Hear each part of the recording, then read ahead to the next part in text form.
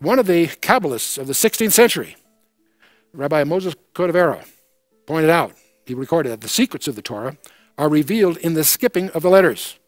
And this is one of the early allusions that caused scholars to start looking at this, where they've rediscovered things that were known to the early Kabbalists.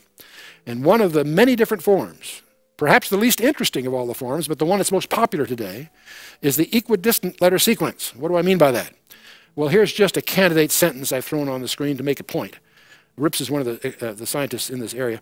Rips explained that each code is a case of adding every fourth letter to form a word. Now, if you take every fourth letter of this sample sentence um, and you take every fourth letter, it spells out another message. Read the code. Now, this is just an example to demonstrate what a equidistant letter sequence of four could contain. It's possible to, con to put a message inside another message by dealing with an equidistant letter sequence.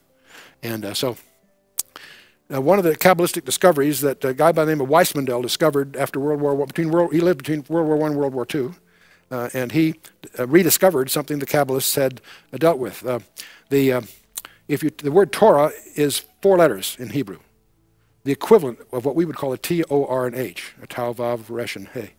And if you go to the first Tau and you count 49 letters, 7 squared, you get to a Vav.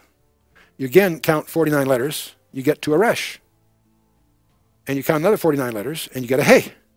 And that happens to spell Torah. Bear in mind, they, as I say, they, they, we write backwards compared to them, but you get the idea. Okay, so um, you say, well, gee, uh, that's cute. Could be just an accident of circumstance. Yes, it could, I suppose. Um, let's take a look at Exodus.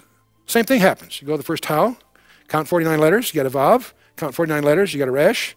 Count 49 letters, you get a Hey. And again, you spell Torah. Now, for it to happen twice that way starts to suggest somebody did it on purpose. Trying to do something like that on purpose turns out, by the way, to be far more difficult than it looks at first. Well, you go to Exodus, you go to Leviticus and nothing happens, you feel a sense of relief probably. You go to Numbers, the same thing happens but with a switch. It is spelled backwards. You go to Deuteronomy, the same equivalent thing happens backwards. And well, you, should, you, take another look at Leviticus, and you, you don't use 49, use 7. You discover at intervals of 7, you have the name of God, the, the Yad He Vav He. Now you stand back from this whole thing. In Exodus and Genesis, it goes forward. In Numbers and Deuteronomy, it goes backwards. And the suggestion the Kabbalists will tell you is that the Torah always points to Yad He Vav He. So the one thing you can't deny here is the evidence of design. Somebody designed this package. And the more you study this package, the more you find laced all through it are evidences of very skillful design. And that's something that, uh, in my opinion, we, we owe a debt to the Kabbalists for because they're the ones that really uh, reveal this to us. And why? You say, why 49? Well, of course, it's the square of 7. And there's the counting of the Omer in the Hebrew uh, uh calendar. Uh, the uh, Rabbi Hirsch said that the the uh, the, the, Jew, the Jews' catechism is his calendar, feast of first fruits, first of weeks, and so forth.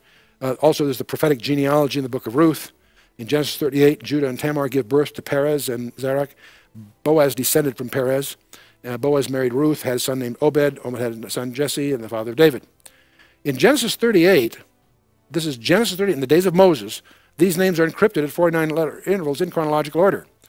Bear in mind, in the book of Ruth, which is the time of the judges, it mentions Boaz, Ruth, Obed, Jesse, David. Fine. But that's not even until Samuel. We haven't got to the monarchy yet.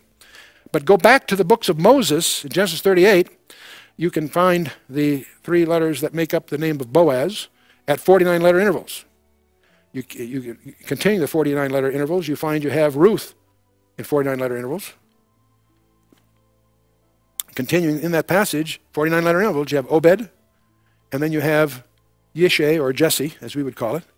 And then you have, at 49 letter intervals, the name of David. So what you have here is Boaz, Ruth, Obed, Jesse, David, each encrypted with an interval of 49 in chronological order. Now, the cynics will say, well, that's just all just an accident of statistical circumstance. I don't think so.